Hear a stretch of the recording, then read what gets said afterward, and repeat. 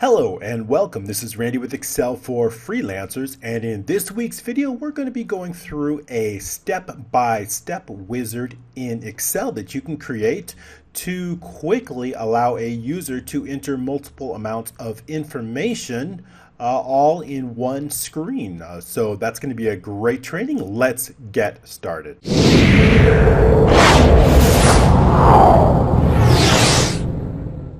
In this video, what I want to do is I want to show you a way, just like we do with uh, large software applications, that allow the user to go through a multi-step process on setup. Uh, often there's a large amount of information that we need from a user uh, when we initially uh, start up the application and we want to take the user through multiple steps to do this. Uh, one way we can do this is through what we call a step-by-step -step or wizard. Uh, and in this uh, video, we're going to go through the training on how that is done. And uh, basically what we have is often a setup screen with a large amount of information. And instead of presenting this screen to the user where they have to fill out all of the information, we'd like to take them through a, a setup uh, or a start wizard where they can uh, enter information into steps. So for example, in this uh, sample, we have a company setup where we have multiple company information. We have account lists, default accounts, and general settings.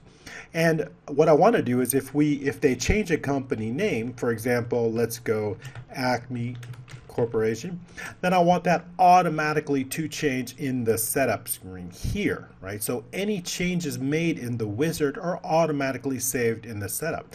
And I'm going to show you how to do all of that to transfer the information with just one line of code. Likewise, if they do make any changes in the uh, setup screen, we also want those uh, changes to take place in the wizard as well so that uh, you can see that it's automatically in sync with the wizard screen. So we want that as well. So we're going to show you how to do that. And uh, we also want in this setup screen, we want to know which screens have been completed and we want to mark those with a check mark. We want to know which uh, screen or step uh, is our active step and we want to know which ones are coming up in the future. And we can do this with actually three different button types. And I'll show you how that is done. Um, in actuality, we actually have three different buttons here. Uh, they look like uh, just one, but it's actually three different ones. And we'll go ahead and show that to you. Into the selection pane we go. If you don't have the selection pane in your shortcut, you can add it. But you can also uh, go into page layout here and select selection pane from here. Okay, so what we have here is, let's go ahead and show all, okay, and then we can close this. Now what I have here is actually shapes on top of each other. So if we move the shapes down and move this shape down as well, we can see that there's actually three different states for each shape. We have what's called a completed, and I've called this step one complete. We have a step one active, Okay, so that's our active when it's active. And we also have our pending, step one pending. So we have three different states for each button. And uh, that is how we do that for each button. So the idea is when we click on a specific section, we want to make the others pending uh, or we want to make them completed. So for example, when we use two, we want to make sure one has been completed and we want to make sure that the remaining two are set as pending. And the same thing here. So now we've shown the, the two completed buttons, right? And we've uh, made this one active and in the future this one will be pending. And to create these shapes what I did was I entered shapes and uh, let's go ahead and do that so you can see how that's done. And I used uh, this particular shape here uh, which is this one right here. And this is the uh, pentagon shape that I've used here. And then I've uh, basically duplicated that and changed the border. So, so I've done that and then I've put them on top of each other like this. Okay. And for the last one, Okay, so you can see how that works. And for the last one, I've used just a general rectangle. So if we insert a general rectangle, right, here, but yet we put it in the back, right? And if we put that in the back, you can see how that might might work, right? So we can do that like this. And now we've put it in the back. So when we do format, send, uh, excuse me, send backward, send to back, right?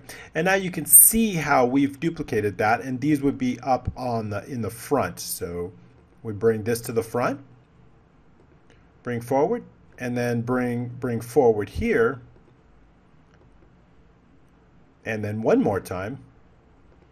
Okay, great. So you see how we can mimic this this status just by using shapes just like that.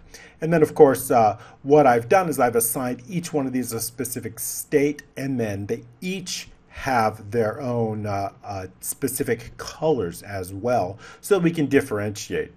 And then I've just simply assigned a check mark to these simply by inserting a symbol here.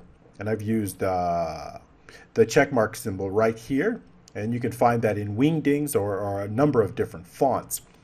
And so that is how I've gone about this. Let's go ahead and delete those now.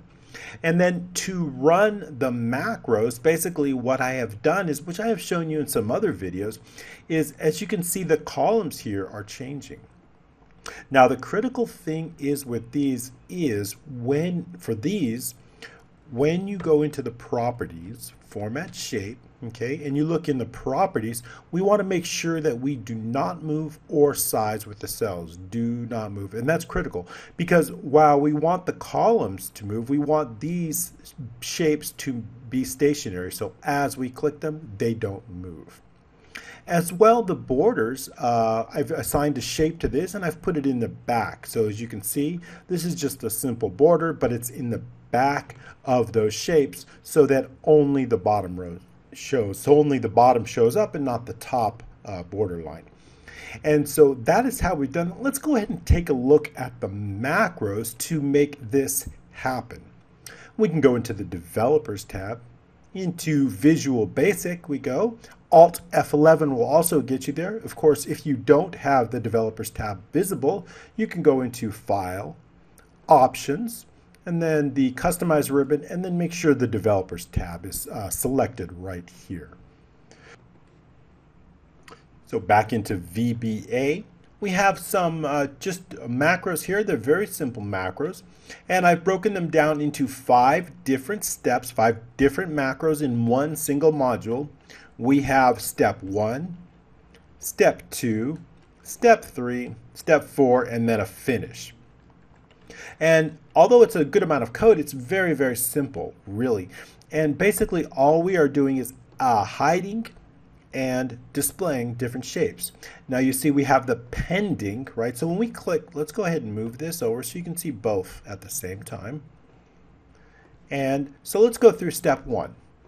When we click step one, we want we want the active button, right? Remember, this is step one active. We want this displayed. We want also, I want the pending to show up for these three buttons. Everything else is hidden. So two, three, four, and five all should be pending. And that's just what we've done within this code. So if you look, step one pending, we're not going to show that. Step two pending, yes, we want to show that. Three and four. We want to show these three as pending, right? And then basically uh, everything else is false except step one active. Remember, this is our active shape. We want to show that. Okay. The others are not active, so all the other active shapes are hidden. Uh, all of the completed, there's nothing complete. On step one, there's nothing complete so far, so we want to hide those shapes. And also step uh, step, uh, let's see, now we go into the columns. Here's the columns. So we want to show columns G through L. Okay? G through L, we want to display those columns. And, and the other ones from M through A, AI, M through AI, we want hidden. So if you want to see it, let's go ahead and unhide these so you can see what it actually looks like when they're all in hidden. And let's go down and uh, let's go ahead and make that change. I'm going to undo that. And what we're going to do is uh, we are going to set this. That's an important part. So we want to set this. Let's go ahead and set that boundary just right. And what I want to do is I want to make sure that this does not size. So size and properties. And we always always want to make sure that move but don't size is okay. We definitely don't want, you see how when I unhid those, this became very long? That's because we don't want to hide. So now when we unhide it, this shape remains, keeps the same. So we'll zoom out and basically you see four different sections here, right? Four different sections. So the idea is we want to show, on step two, we want to show this and hide everything else.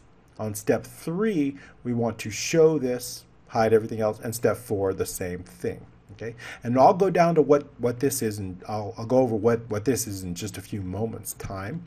So zoom back into 100%. So that is the idea. We're basically hiding and showing columns what we want to display. So when we click one, everything else is hidden. When we click two, everything else is hidden except columns M through U. When we click 3, we want to show V through AA, everything else is hidden. And that's just what we've done in the code here. So when you look back in the code, you'll see G through L, entire column hidden equals false, yet M through AI is hidden, and that is true. So we're going to hide those. The next up is we have groups, right? We have some shapes that are part of, for example, this group here, step three group. Let's go start with step one. Step one group is this border, right? It, it's made up of this border and it's made up of this next button. Okay, so that's part of step one group, right? So I want to show this group on step one, but I want to hide this group for all the other steps because in step two has its own group. Step two has its own group. We want to show that on step two and hide the others. So each step has its own group of shape, and that shape includes generally a border, and it generally includes uh, the previous and next buttons, or the buttons that are assigned with that. Step four would have a previous and finish button, so it's almost the same. Let's go ahead and make this one a little bit smaller. And when you want to shape a group, and it's already in a group, double click it so we can shape that border. We'll move that in to line that up just right here. Okay, so now we've got that lined up. So that is why we have groups also. Groups are assigned to specific sections. So you'll see in step one, we're showing step one group, and yet we're hiding all of the other three remaining groups. And then also what I've done is I've selected the cell. What I want is when we go into a step, I want to select a, the first cell in that particular uh, set of cells because I don't want I don't want just some odd. I want to I want to get the user to at least make sure they know that the active cell is right there. So for example, when we select company name, I want to make sure that this cell is selected. So within those macros, on the last step, I've selected. And this, I've selected a particular, or I told VBA to select a particular cell in that particular section. All right. So that is so that is basically it. And we've done the same thing for step two. We've we're now we now want to step one pending is false, right? And three and four are true. When we go to step two, Three and four get the pending, which is the, the black and the gray. Those are pending. Uh, two is the active shape, and the uh, first one has been completed, right? So we want to show the completed shape on step one, and we've done that through VBA. Here you can see step one completed, true. The others are false. No other, no other step has been completed. And so again, we've hidden the columns. Um, we're showing the columns we want to show, and we're hiding the columns we don't want to show. Showing, uh, hiding step one group, we're going to show step two group, and then we're going to hide the remaining. So that is how we did it. Now the other thing is the stop calculation and reset calculation. Those are simple macros and we'll go ahead with those two macros. All that does is it stops the calculation and stops screen screen updating. And this helps uh, keep from when you select screens you get a you get a little bit of a delay or a flash and what that does is it kind of stops it a little bit. So it's a little bit less of a flash. So that helps it just make it a little bit faster and, and the code runs a little bit smoother. So that is why I have added stop calculation and reset calculation. So step three is the same. Step four is relatively the same also. And the last one is a finish, right? All we've done is I've marked them all completed, right? Although you generally don't see that, right? When you go to finish, we're going to run the macro, and then I'm going to set it to uh, back to the setup screen, which is where. And if you look back on the wizard, you'll see that all the steps have been completed. Oh, except I'm gonna have to fix that one. Look at that. Actually, I think it's a size issue with that. Let's go ahead and increase it. Oh, there it is. Okay. So we just need to increase that size a little bit. So let's go ahead and make it a little bit smaller, 2.44. All right, that looks good. Okay, so we had a size issue with that one. Now it's showing good. So you see they're all completed. So that's what finish does. Finish marks them all complete. You see, step one, two, three, four are all completed, and everything else is hidden, right? There's nothing pending, right? So we've hidden all the pending buttons. There's nothing active, so we've hidden all the active buttons. So we're good. We're good with that. And then what I've done is I, have uh, I want to activate the setup screen. I want to activate that once we have completed it. So when we click finish, it automatically goes to the setup screen, which is here, so you can see any changes. So that is what I have done. So that's it for how we go from step to step to step. And now basically what I want to do is whenever we make a change here, I want it to show up in the setup screen automatically. So when we change this to Acme Corporation, I want automatically in the setup change for it to do that. And we can do that with just one line of code because we have done what I call uh, cell mapping. We've done cell mapping. And basically what that is, is I want to say, hey, if we make a change to this cell, I want that change to be reflected here. And if we make a change to this cell, I want that change to be reflected right here. And how do we do that? Well, the idea is we know that if we make a change to I8, we need that change reflected in the setup screen for F5, right? So basically we want that. Now we can write a lot of code that says uh, if there's a change to I8, then make the change. And, and you know, we could do that for every single cell, but I don't want to write that much code. That's an awful lot of code for, so I'm always looking for a simple shortcuts. Now, if we know this is I8, we also know that 2 down, I10. Any change to I10, right? We know we want to change in the setup screen F6. So if we know that which cell is going to be affected, we can map it, map it. And I'll show you how that is done. So if we go exactly 50 rows down, we're on, we're on row 8 here. If we go actually 50 rows down, here we have a very similar cell, but we've mapped it. Okay, This is it. This is our mapping, and this is going to save us tons of time. It's a little bit time to set this up to actually control. So in the setup screen, this is F5, right? This is F6, F7, F8, so on. So we know it. So I've done the same thing here, F5, F6, F7, F8. The reason, and we have mapped that so it's so much easier in the code. We can do all of that with one line of code. We've gone exactly 50 rows down, exactly. So that means that 64, that means this is going to be row 14. So if we look up, we'll see row 14. So we go the same column, 50 rows down, it's going to tell us exactly what cell to put that in. Exactly what cell. So when we change, make a change here, we know exactly what cell. I think I have that pre-formatted. Uh, missing one number for the phone number. So when we make that change, automatically we know what cell in the setup screen that's going to that's going to control F8. F8 in the setup screen is going to be the cell that we change. F8 is the cell. So let's go ahead and back into our VBA code and see how we did that there. Into, into the VBA model we go here. We're going to look at the wizard screen. This is on sheet on sheet code. And see look it's just one line of code and I'll expand it. It's a little bit longer of a line but we'll show you how that's done.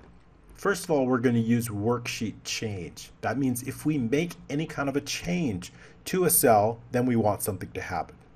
So what is the range? Now that range is a1 actually it doesn't need to be a1 it could be let's go ahead and set that exactly right. The first is I8. I8. Let's go ahead and set that to I8.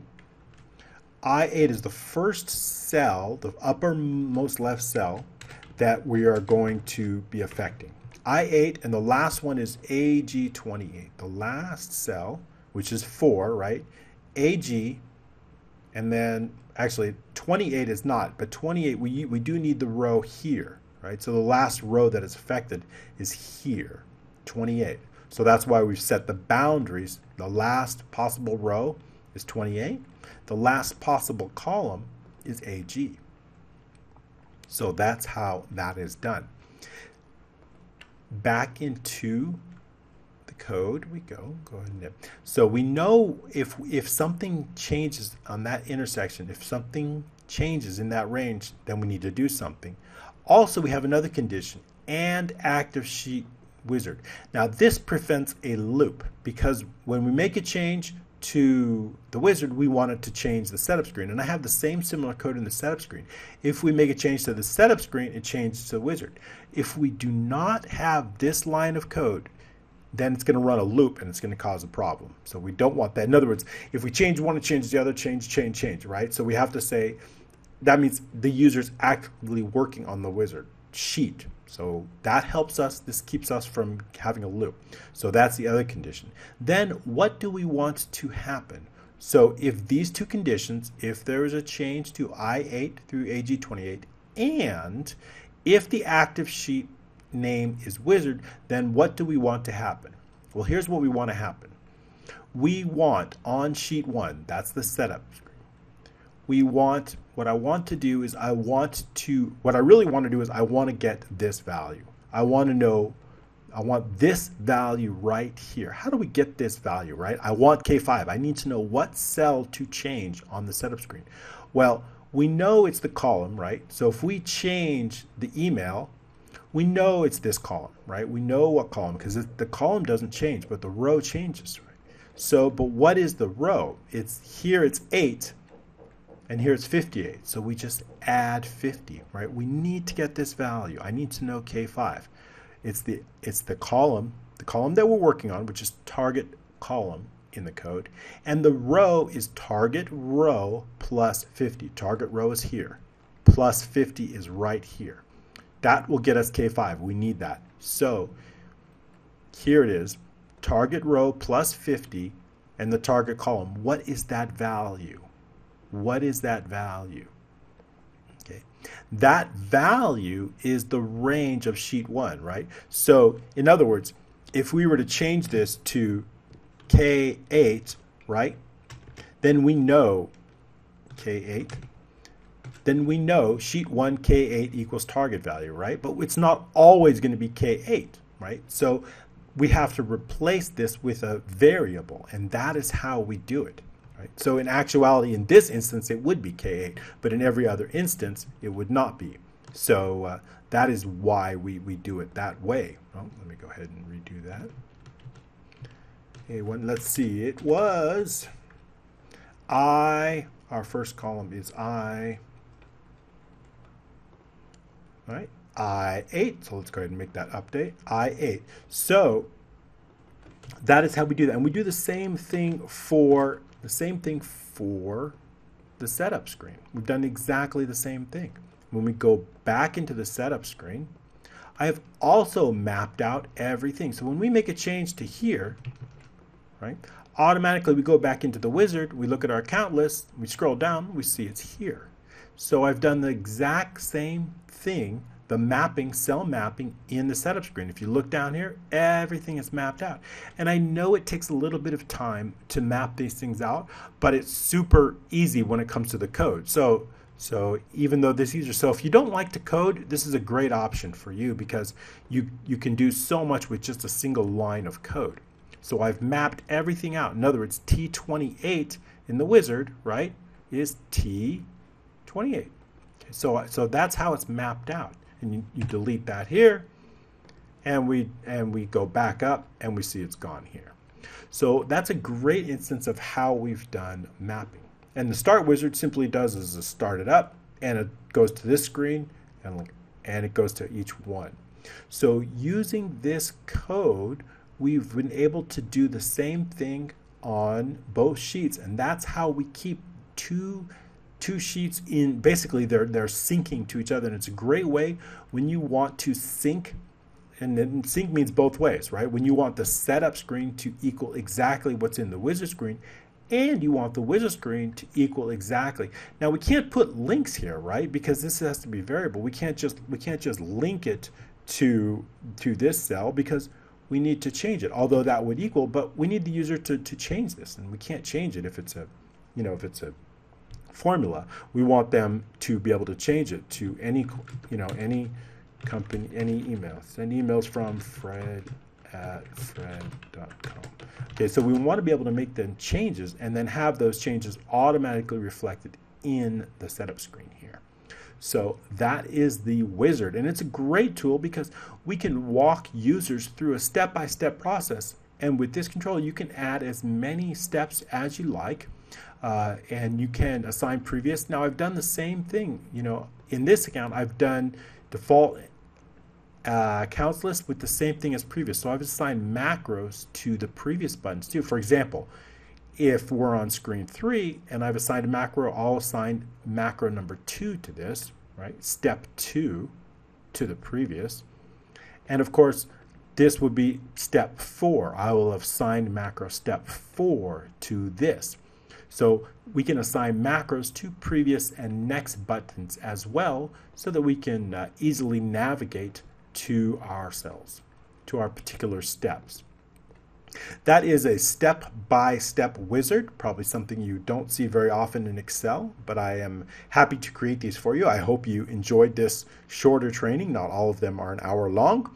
And if you have any questions or comments, please, of course, uh, put them in the comments below. And uh, I appreciate you sharing this. Uh, thank you so much for joining me. Have a great day.